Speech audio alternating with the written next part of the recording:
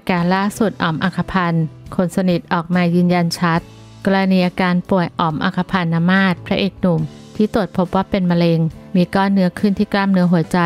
ลามไปยังปอด และเข้ารับการผ่าตัดไป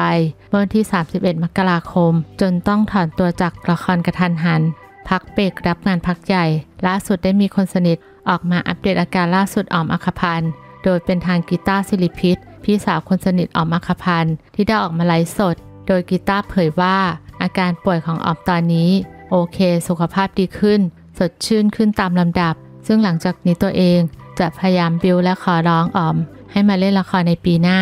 คาดว่าไม่ใช่ปีหน้าก็ปีถัดไป รอให้อ๋อมมา confirm อีกที พร้อมฝากขอบคุณแฟนคลับทุกคนที่เป็นห่วงพี่อ๋อม และคิดว่าอีกไม่นาน ประมาณปีหรือ 2 ปีออมคงได้กลับมาร่วมเล่นละครกับช่องเจ็ดเหมือนเดิม ขอขอบคุณแหล่งข่าวจากทีนิวค่ะ และเพื่อไม่ให้พลาดทุกๆข่าวกอสิบดารา อย่าลืมกดติดตามเพื่อรับชมคลิปใหม่ๆ ทุกวันได้ที่ ช่องดารากอสิบขอบคุณทุกท่านสำหรับการรับชมและติดตามค่ะ